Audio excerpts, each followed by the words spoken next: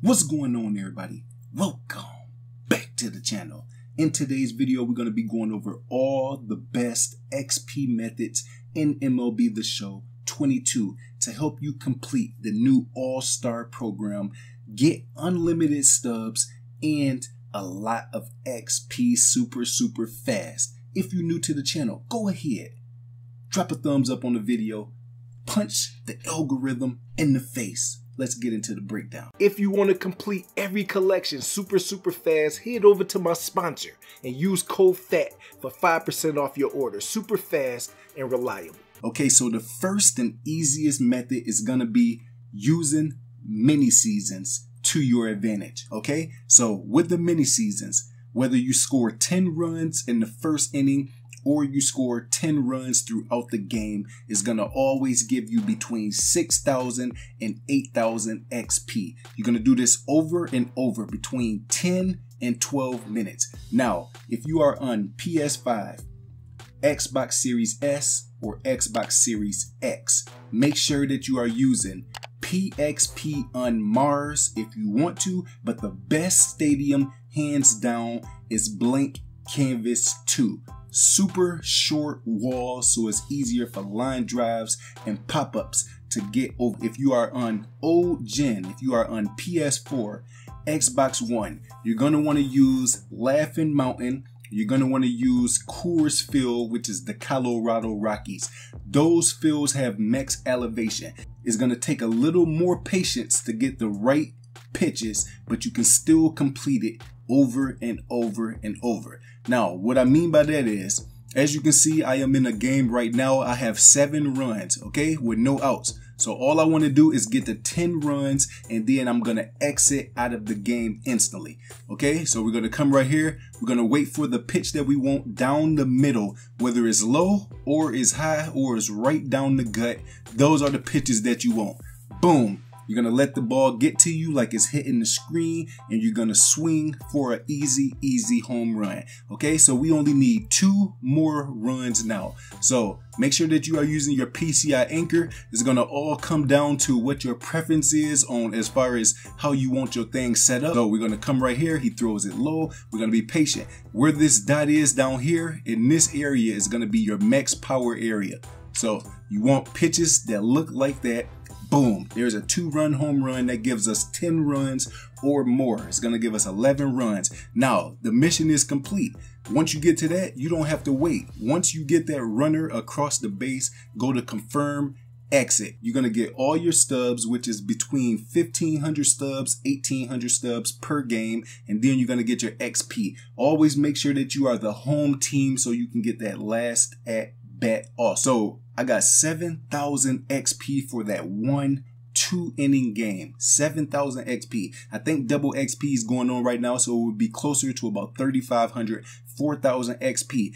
Over and over and over, if you give yourself about an hour, hour and a half a day, your XP is going to be going up and up. You're going to be getting about 25 to 30,000 XP per hour. That's going to help you get to the program super, super fast. If you do an hour and a half early, an hour and a half later on in that day, that's going to put you close to that 70,000 XP through the program. You're going to be getting a lot of stuff unlocked packs. You might pull something glitchy out of the packs. And that right there is going to add up to a lot of stubs. You can literally sit there and do this over and over and over. And in about three and a half, four days, make a half a million stubs, no money spent. Another key thing is you have to keep resetting the season until these first two teams are for you to have home field, okay? So verse pinheads, verse pinheads, these are the games that you want to play. If it says at a certain place like this one, these are away games. It might gonna take you two or three times. Sometimes it's going to take you four or five times. You don't want to play the whales and you don't want to play the cats. That's going to make your mission so much longer. But after you finish it, you're just going to restart the season. You're going to see it in the right hand side. X or square, reset the season. Now I reset the season. Sometimes you're going to get an error.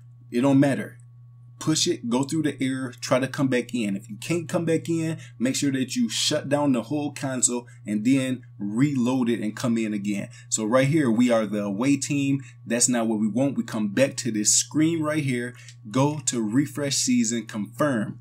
Let it do all the stuff. Sometimes an error is going to pop up. It's going to be something that make you think. And right here, we got a different team when you come back in. That's not the team that you want. And you're just going to keep on refreshing it, restarting it until you are the home team. Now, another method that a lot of people was doing is the road to the show method. But if you have that all the way complete, you can also do March to October. You can play all the way up to right before the All-Star break, which is coming up soon in real life. So as you can see, we got an unhandled server exception.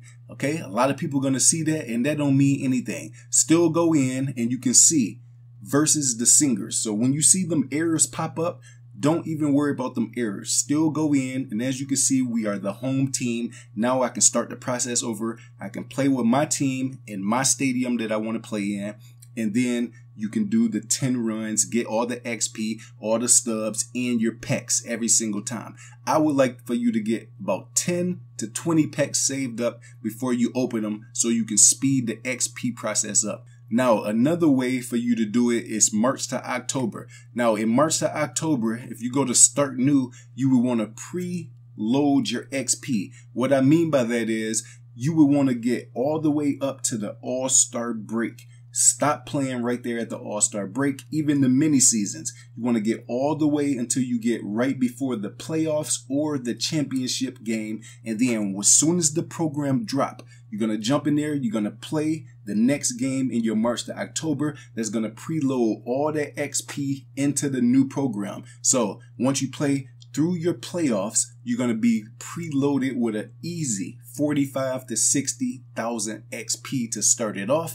Then you jump into the mini seasons. You do the same thing. You're going to be grinding and all that XP. That's going to help you unlock all them cards super, super fast for max profit in that first five hours, the cards will be super, super high. After about four hours to five hours, more people unlock them, the prices slowly go down. So if you want to get them for super, super expensive prices, make sure that you do the preload, okay? Now, you're going to do March to October. That's another way. You have the ball player method, which is on my channel, and I will link it down in the description for a picture and a hitter. And that right there is gonna help you get 250 to 300,000 XP super, super fast in the first 24 to 48 hours. Plus, if you pull something glitchy, it's gonna help you get another 200 to 500,000 stubs super, super fast. And you can go out and buy any player that you want. Throughout the program, you're going to be getting free packs, free stubs, and you're going to be getting these headliner packs through the mini seasons. You can pull Mike Trouts, you can pull a live series out of these, or you can pull the headliners, okay? Some of these 93s are only going for 12,000 stubs, but when the next collection comes out, a lot of these cards, 94, 95 overalls, will rise up in price another 8 to 10,000 stubs. So if you're able to be patient and save them, they can turn into great great investments. The best XP method, the best stub method in MLB The Show 22. Let's go.